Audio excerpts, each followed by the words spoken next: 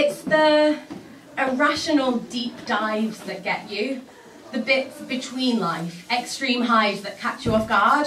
One person living life day to day, working jobs, getting paid, and everything's fine, only a little bit beige, I'd say the deep dives you don't expect, the bad choices only in retrospect, but at the time, it's just a chance to connect, and who doesn't want that? No one wants to be feeling rejected. Deep dives, not coming up for air, lungs wrapped in waters, decisions lead to despair, but you don't care at the time. You're just hungry to explore, to dive further this time than you've ever gone before. One person, negotiating life A to B, they didn't know life was going to take them to their knees with a chance encounter on a downward from powder, and how do you know what's coming next? You don't. That's the truest answer. I didn't think I'd meet you at that party. I didn't think we'd talk. Didn't think I'd see you at the bar. Didn't think we'd share a car home. Didn't think we'd kiss, but we did. Didn't think I'd like you as much as I did. Well, I didn't think you'd like me back. Didn't think my senses would be under attack from your chat. Didn't think you'd want to kiss me more. Didn't think I'd ever see your front door. Didn't think you'd pour me a drink on your balcony. But suddenly that's happening. Didn't think I'd get so sunk like a battleship. I swear I didn't think clothes would come off on the sofa. Didn't think I'd see your bedroom poster. Didn't think I'd fall asleep on your chest. Didn't think you'd be the best person I ever met.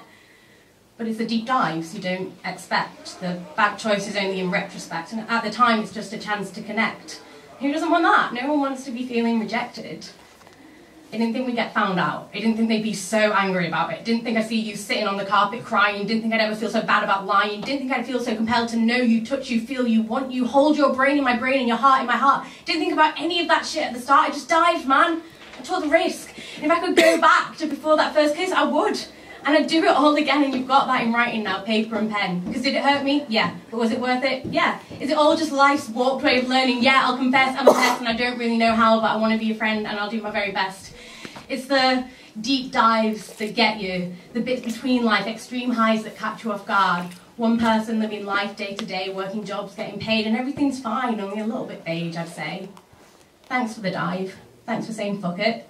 It was an intense trip, but I'm glad we took it friendships built like this, they're lasting. Glad I found you, even though I wasn't looking. I just dived, man. I took the risk. And if I could go back to before that first kiss, I would.